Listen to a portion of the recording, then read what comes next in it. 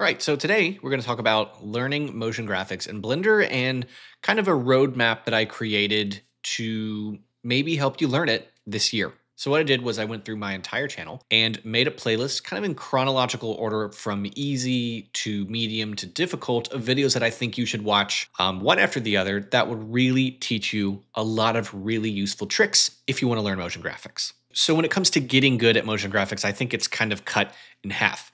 One half of it is the practical knowledge of how are we creating tools to create interesting scenes, interesting movement, and communicate the idea that my client might want me to do in terms of building things out. And that requires a lot of knowledge in Blender. But on the other side of it is how can we take all that stuff and actually make it look good? I honestly think the skill of making a system look good is more important than being really, really technically skilled. I found clients are happier when it looks good rather than if it looks the most intricate and big and extravagant. And so, if you can kind of get good at both, you're going to be a weapon. So, with all of these tutorials, they teach you both of those things. How can we use Blender to build a cool thing? How can we make that thing look really cool? So, with that being said, let's talk about some of these videos in this playlist. This first one is really going to get you comfortable with the idea of using geometry nodes. Geometry nodes is the most powerful tool for making motion graphics in Blender, and you are going to want to get good at it. And this one is really going to teach you, hey, motion graphics is not that complicated, and neither is geometry nodes. Both ideas can feel very daunting. This one's really going to get you quite comfortable with some of these tools. Now, like I mentioned, making things look cool is almost more important than making cool things, and lighting is one of the biggest ways to make something look bad or good. And this video is going to give you kind of an overview of some simple tricks that are going to help your scenes look really good. Lighting doesn't have to be complicated, but if you can learn some really cool tricks along the way that are going to make your life easier and make simple setups to make really cool scenes, it's really going to save you a lot of time and make you a better artist. Under the guise of manipulating lights, I have two tutorials. One that's very practical and using lights as though light is going through maybe some trees or a window. These are called gobos, and it's going to teach you how to create gobos to create more style in your scenes. And then the other tutorial is taking that idea and going a little bit more stylistically with it by taking lights and turning them into projectors that then we can project things on things and make really, really cool, stylistic looking animations. This is one of those videos that crosses the line from, okay, we have a scene with a rock and a whatever, but let's make it look awesome. Let's do it with projectors. That one's going to really help you think of creating style. Being a motion graphics artist, you are going to be kind of a jack of all trades, and one of those trades is being an environment artist. And this tutorial is going to show you how we can make a very simple environment. There's not a lot of moving parts with this. It's just really using simple tools to create simple things and using simple materials and lighting making it all cohesively come together to make a very satisfying animation. Physics can be really frustrating in Blender. Uh, and I wanted to make a tutorial where we take an idea that might be quite frustrating and showing you how to do it. We're going to be using rigid body dynamics to make this really nice, fun animation where all these balls are going through and hitting and colliding and stuff. And it's really going to help you understand how to use rigid body dynamics in a simple way. All the tutorials are meant to take difficult concepts and show you they actually are quite simple. And this is a perfect example of that. Understanding how to create procedural materials is a very, very necessary skill. You have to learn how to make patterns sometimes on other things. This tutorial is going to show you how to make a relatively simple pattern within the procedural material node system, and then how can we use motion blur and setting up a scene to make this look like a really, really cool looping animation.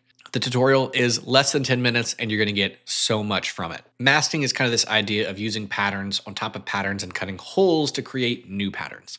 This tutorial is going to show you how to do that in Blender, and then we're gonna take that idea and make a really simple animation. This is one of those animations I use for, as like a simple website background or even going as far as a really, really effective concert visual. And then the last procedural material tutorial I would recommend is this one. It's actually a free lesson taken from my Intro to Motion Graphics course, where we kind of go really far and use only procedural materials to make an entire landscape looking animation loop where everything is is bouncing around and lights and color and it's honestly one of my favorite animations I made in 2024 and it's super cool. It's also quite complicated and once you get to this particular point in your learning, you'll really realize how far you can take procedural materials. We are talking about motion graphics, and eventually you're going to need to deal with typography. So this tutorial is going to show you how we can use the text tool to make something look really, really cool.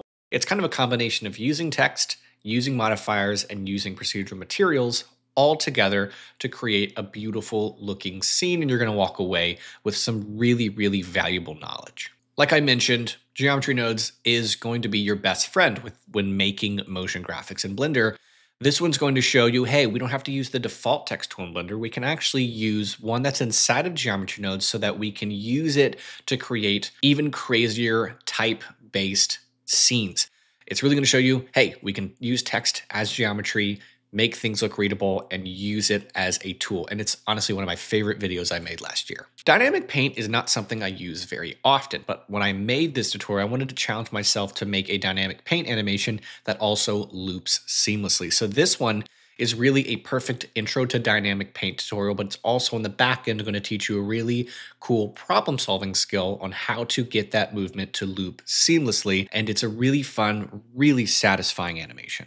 Now, I don't have a specific video for looping. That's because almost all of these tutorials incorporate looping the animation. For me, I'm obsessed with making an animation loop. I don't know why I love it so much, but I do. But I found that problem solving that issue of how can I get this movement to loop has actually taught me so much more about Blender and how the back end of things work. So as you're watching these tutorials, keep a mental note of all the different ways that we're taking movement and getting it to loop seamlessly.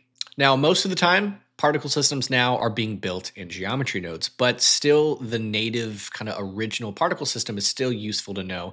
And this tutorial is going to teach you how to create this optical illusion logo reveal using the particle system. It's very fun and it really helps you learn how to use that particle system in a really interesting, creative way. One of the most daunting things I've found that beginners dread is learning about math within Blender. You're seeing a lot in the shader editor and in geometry nodes.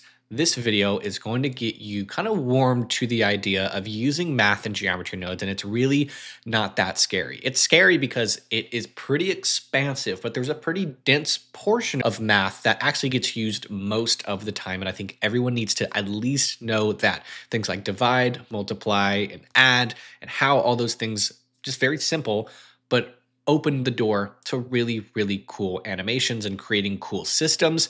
Math is definitely the portion of Blender that is separate from making things look cool, but actually building cool things that you can then make them look cool through lighting, through materials, through taste, and applying that with your art.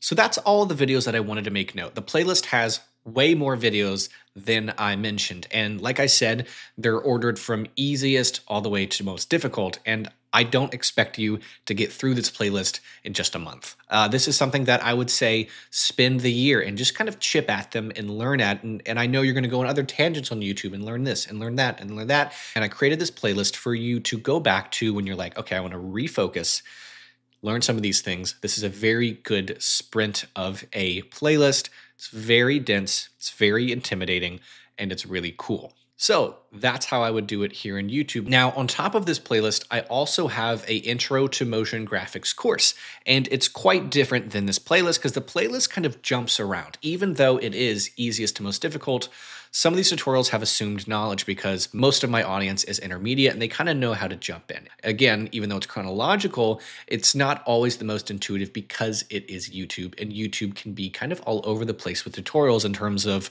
what you're supposed to know, what you need to know, and all of that. This course is a step-by-step -step how we can go from being very beginner in motion graphics to learning some really cool tools and everything builds on top of each other. Each lesson, you're going to walk away with a brand new animation and more knowledge than you left from the last one. So if you do want to check out my Intro to Motion Graphics course, it is a perfect way to really kind of go from zero to hero far quicker than you would on YouTube. But again, YouTube is free and we love free. So if you want to check out either of those things, they are linked in the description. Thank you guys for watching and good luck on learning motion graphics.